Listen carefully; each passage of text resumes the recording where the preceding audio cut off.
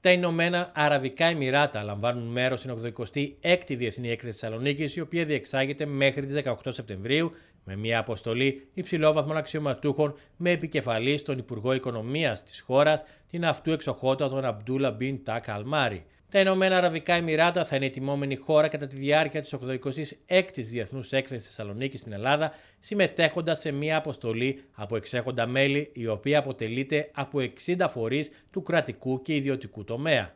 Η αποστολή θα αναδείξει τη σημαντική οικονομία προόδου της χώρας, τα τελευταία τεχνολογικά προϊόντα καθώς και τους νέους οικονομικούς της τομείς. Η συμμετοχή των Εμμυράτων στην 86η ΔΕΘ πραγματοποιείται στο πλαίσιο της προσπάθειας της χώρας να προσελκύσει 150 δισεκατομμύρια δολάρια σε εισερχόμενες ξένες επενδύσεις τα επόμενα 9 χρόνια, ώστε να καταστεί ένας από τους 10 κορυφαίους επενδυτικούς προορισμούς παγκοσμίως, ειδικότερα στους τομείς της νέας οικονομίας έως το 2030. Στόχος της συμμετοχής των Ηνωμένων Αραβικών Εμμυράτων στην